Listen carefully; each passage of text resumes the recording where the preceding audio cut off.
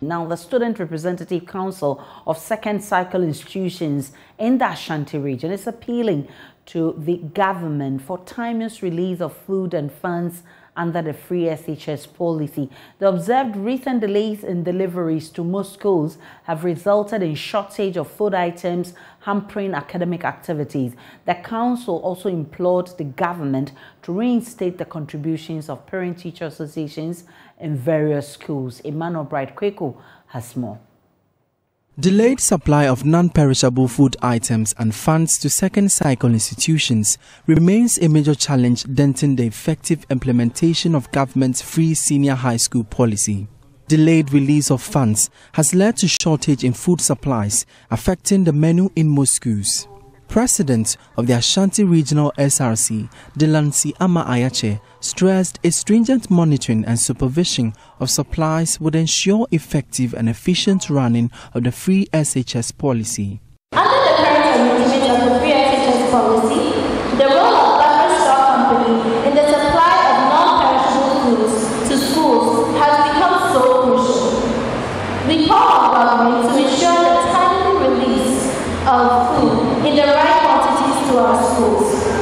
Our schools have experienced a number of shortages in the supply in the course of previous semesters, making it difficult to follow the.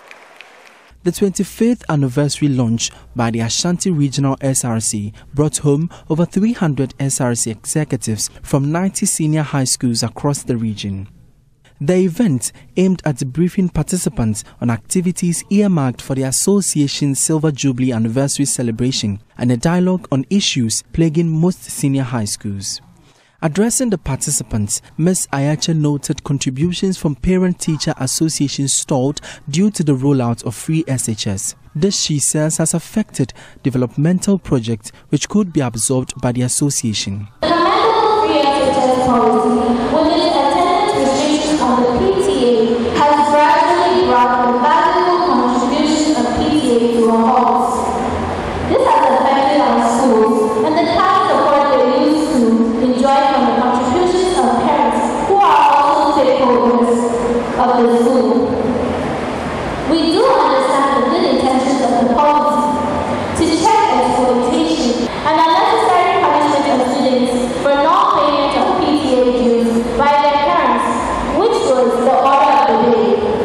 We are however pleading that a minimum seal of a small amount of money could be provided for PTAs to still contribute to support schools in areas of infrastructure, maintenance of facilities, and many other areas in dire need by our schools.